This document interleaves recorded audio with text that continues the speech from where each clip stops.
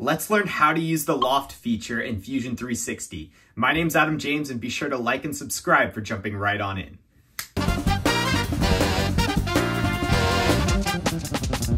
So as always, we'll jump right on into Fusion 360. As you see here, we're gonna start with kind of a vase example. Uh, this is one of the more complex examples that I think we'll work towards in this tutorial. Uh, you can see there's a lot of sweeping features, a little more complex than what we're able to accomplish with, say, just simple extrusions in Fusion. Uh, and then we'll kind of start from something a little simpler like this, right? So we've got some square features, no rounds, um, and, and the overall goal here is to achieve something where you've got, say, a smaller feature on the bottom, say a sketch down here, uh, and a larger feature up top. And then we'll we'll go through and try maybe a, a different geometry sketch on the bottom, and then a, a different geometry on the top, uh, and then something a little more complex uh, with a square geometry and then kind of a spline curvature. And then we'll go into how to use chain-driven commands to actually get the features to follow a path that you design.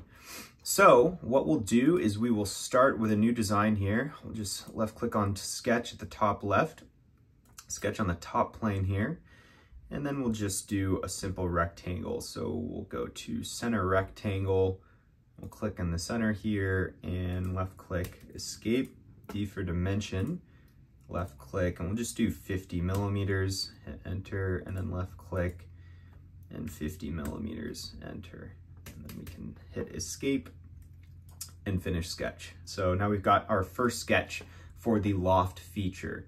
The next step is to create a uh, offset plane. So we'll just select the same surface plane that we just created our sketch on. And then we will maybe enter 100 millimeters here and then hit enter. That looks pretty good. Uh, this is all dependent on the design that you want to create, right? It doesn't necessarily have to be 100 millimeters offset. This is just going to be the distance that the top loft plane feature is going to reference. So we'll left click on this plane that we just selected. If you don't see it, you can select construction over here in the plane. Uh, and then we will, okay, left click and then click sketch. And then I don't want to redraw that, so just P for project, left click all these lines that we just made, and then click OK, and then O for offset on the keyboard. And you can left click, and I'm using a Mac, so it's Command select the rest of these. I think it's Control select if you're on a PC. Uh, and we'll just kind of drag this, I don't know, let's make it maybe 20 millimeters and hit enter and you can shift middle click to rotate and just check to make sure that this looks correct. That looks pretty good.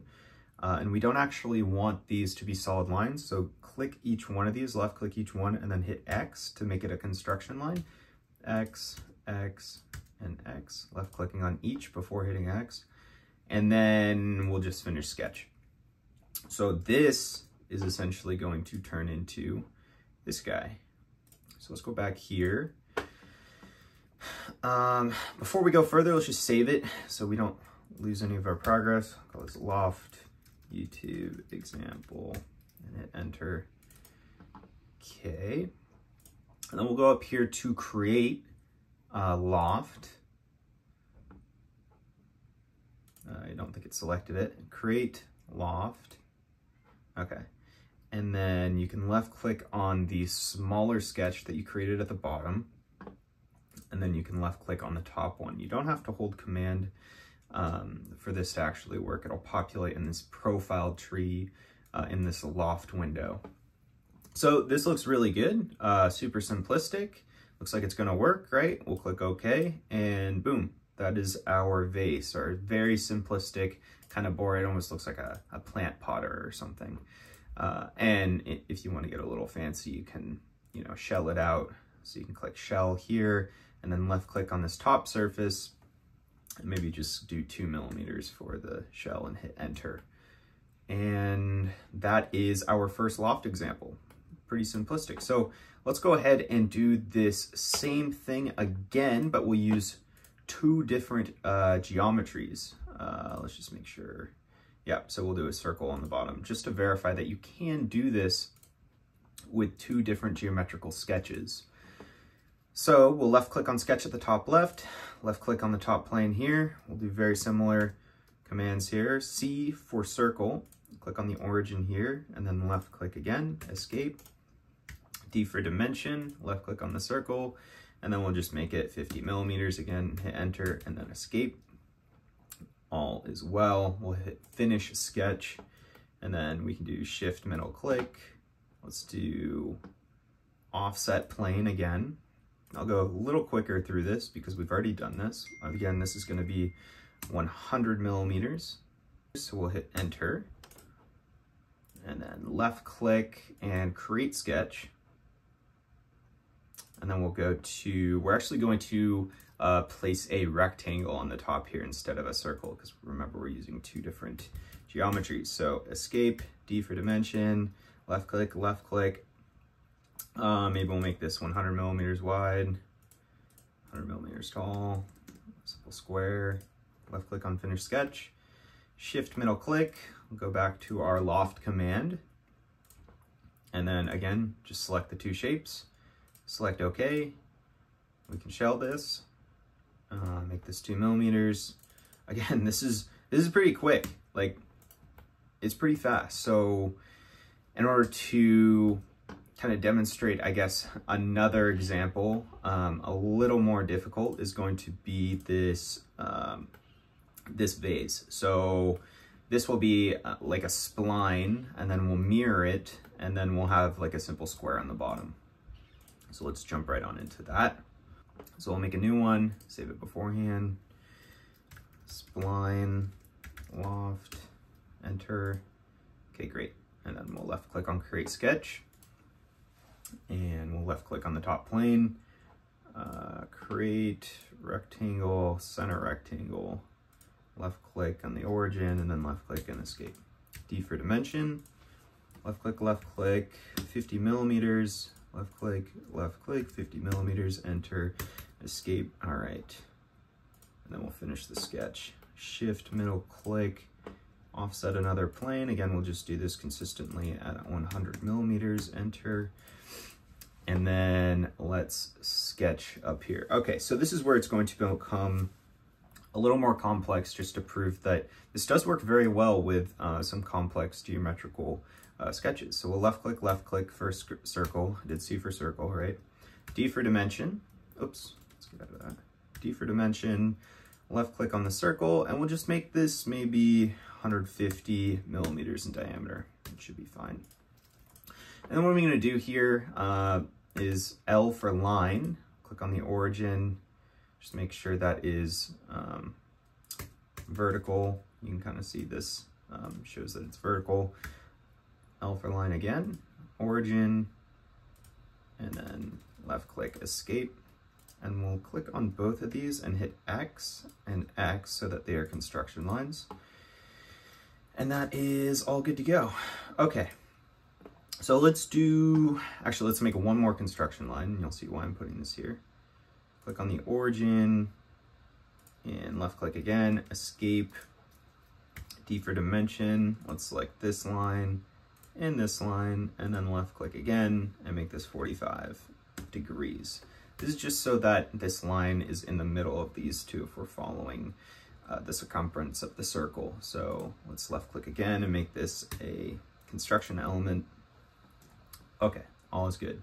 So the next step is to do a fit point spline. All right, and then we'll left click on fit point spline here at the top left, and then we'll left click on this intersection between the circle and this horizontal construction line. Just left click, and then we'll left click kind of in the middle, and then we'll left click on the intersection between this 45 degree line that we made and the circle. So left click, and then left click on this check mark, check mark to the left and then hit escape. Great, okay. And then what we'll do is left click on tangent, left click on the spline, and then command left click or control left click, depending on if you're on a Mac or PC. And you'll see that that makes this tangent to the circle that we just created. And then we'll hit escape, left click on tangent again. We'll do the same thing on, actually, really quick, hit escape, go over to line, and create a line that is perpendicular and I'll purposefully make it not perpendicular, left click and left click, hit escape.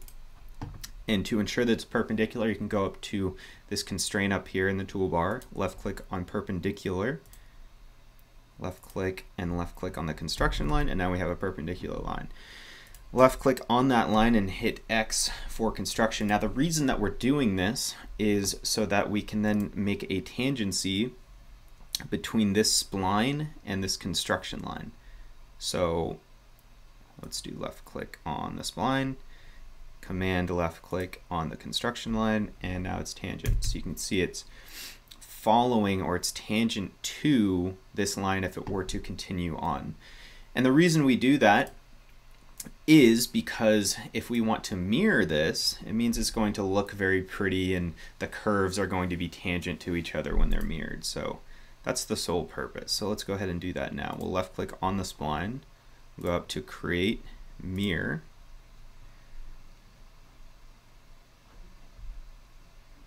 Oh, maybe it didn't select it. Create mirror, left click and left click. Okay, great. And then that object is already selected, so let's select left click on mirror line field. You'll notice that it populates or it shows blue.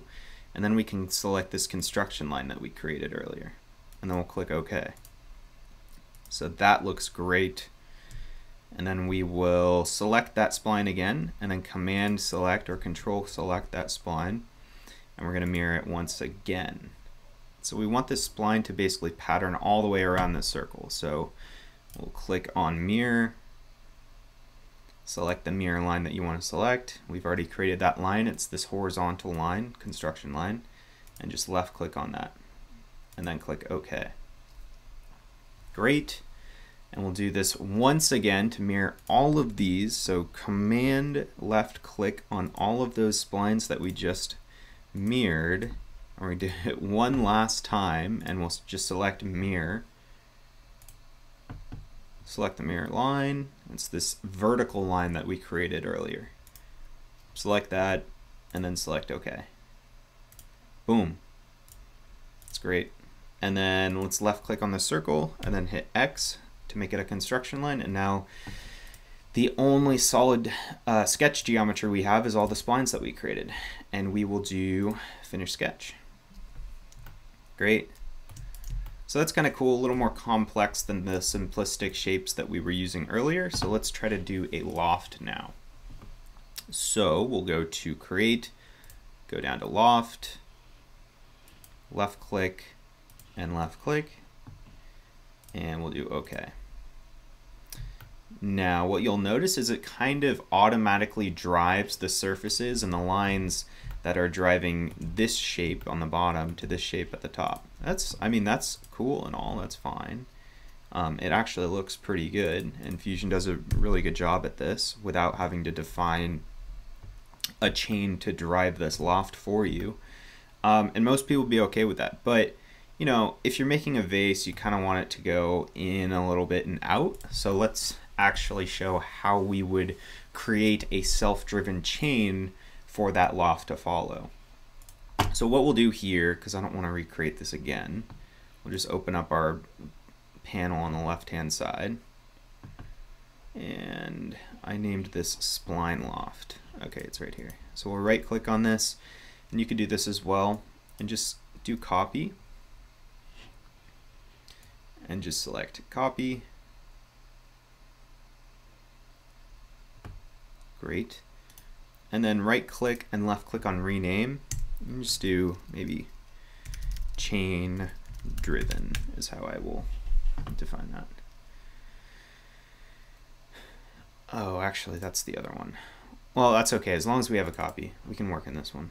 All right, so now let's create the chain-driven sketches that we need uh, for this operation. So what we'll do is at the bottom here, we'll just scroll in the history timeline by um, holding down your left mouse button so that it goes before this, um, this loft feature that we created. And then in the feature tree, we can go to sketches, or the sketch tree, I guess. And then we can show these by selecting um, the eye icon just shows the sketches that we just created. And then we also want to show the origin. So this is what we're going to do. If you'll notice this plane here, and that happens to be the YZ plane, or the, the left plane, what we want to do is we want to create a sketch that essentially connects this dot to the bottom of this dot at the bottom of the sketch that we created previously. So let's go ahead and show what this looks like. So left click on sketch, sketch on this kind of right plane here. And then we want to, we'll make it even complex with a, spot, a spline. So we'll do fit point spline, so left click on that. Actually, before we do that, hit escape. And then you can shift middle click and we want to make sure that we're projecting something to reference so that we can actually select these in our sketch. So what we'll do is P for project, select this line back here, and then also select this point at the top. Left click and left click and select OK. And we can create our sketch normal to the axis again just by selecting this left face up here. Now we're normal to the plane of the sketch and let's hide the origin. So we'll left click on that in the tree over here. And now we can sketch. So can left click on fit point spline, left click. We'll make another point here, left click. We'll make one more point here, left click, and then this final point so that it's uh, coincident with this top line and we will left click as well. And then we'll left click on the green check mark to create and continue. And then we'll hit escape. So similar to what we did earlier, we will left click on this line at the top and then left click in the very center origin and then we'll left click, hit escape, hit X on the keyboard. Actually, let's do it the other way. Hit X again on the keyboard to deactivate that. Left click on the line and then hit X, hit escape. And then we're going to create two more lines. So left click on the line at the top. You can also do L on the keyboard. And we'll click on this point at the bottom right. Left click, left click. Make sure that it's perpendicular to this horizontal axis. Hit escape, L for line. And then left click on this top right point. And just in case you didn't do it, I'll do an example, right? Maybe it wasn't perpendicular, so we left click. Oh no, it's 107 degrees, it's not 90, so we can fix that left click on perpendicular, left click on the line we just created, and then, well, this is a good example, because how do you fix that? Uh, we can create a horizontal line from that point, left click, or maybe your horizontal line was also not um, horizontal, you can also go to this. Select horizontal vertical, and you've got a horizontal line, you can create this line perpendicular to that one by left clicking both and then hit escape. Just a little tips and tricks along the way, right? All right, so left click on both of these and then hit X to make them a construction. Make this bottom one a construction as well by left clicking and selecting X and hit escape. And then we'll left click on tangent, left click on the line, this vertical construction line we just created as well, now they are tangent. You can see a little tangent icon, and we'll do the same thing down here. So left click on the spline, left click on this line, and then hit escape. Boom. So this is where you can kind of just play around um, with how you want this spline to look. I kind of want it to come in a little bit um, and be a little funky. I think that looks good to me. Maybe a little more. Okay, that looks good and then just left click on finish sketch. Actually, we got to go back into the sketch. So right click on this in the history timeline, left click on edit sketch, and we have one last step for this sketch. Left click on this, spline, and then left click on create, and left click on mirror. And then again, we have to select the mirror line we want to reference. So that's this construction line. It populates over there on the left, and then we select OK. Now what we're going to do before we exit the sketch as well, left click on this spline and then command left click on the left spline. So they're both selected and then do command C or control C if you're on PC and do finish sketch. So they're copied to our keyboard. We can hit escape now. So let's shift middle click around so we can look at what's going on here. So you can kind of get a gist of what this is actually doing. It's kind of this like bound of what ideally we would like Fusion to follow when it creates the loft. But in order to create it a little more symmetrically, I like to do it on um, all four sides. Uh, so we'll go ahead and create one more sketch. Um, on this plane, so this back plane here, the front plane. So due to the fact that this is the same origin location, what we can do is Command V, and it will paste the sketch that we just did, that we just created, and we can select OK. Now that's Control V if you're on PC, and then we'll just select Finish Sketch. So that makes it really easy. This looks pretty complex from from just a sketch component right? But we're actually going to have a like a really cool looking body just from having these sketches together in one command right? One command can create this vase geometry which is really cool to, to see fusion have this this feature built in. So let's go to create. We will then select loft. Uh, we'll select the the bottom square that we sketched earlier.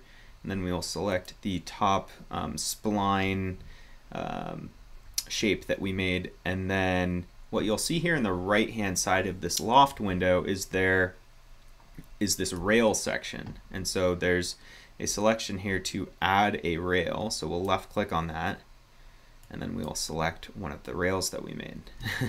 so this is kind of cool. I mean, maybe like an abstract art piece, right? If you wanted to leave it like that, sure, go for it. But I'm just gonna finish this up and, and we'll do it symmetrical around. So uh, I'll left click on add rail again, add another rail that we created. So you can see it's kind of cleaning it up and following the curvature of those paths that we want it to follow. We'll add another rail. We've got four rails to add. Left click on the rail again. And then our last rail, left click and left click. And there we go. And we'll select OK. Left click on OK. Let's hide all the sketches in the tree here. Uh, and then we can kind of take a look at what we've made. I mean, this is pretty complex. I mean, for just a single loft feature to make, oh, and, and we can shell it. Let's just do that. Left click on shell, left click on the top surface. We can enter two, hit enter, and that is all set to go. That is our vase. Yeah, and just like that, we used a single loft feature with some, with four different sketches and an offset plane to create a super simple yet pretty complex uh, vase. If you all found this video helpful, feel free to like, comment, and subscribe, and I'll catch you on the next one. See ya.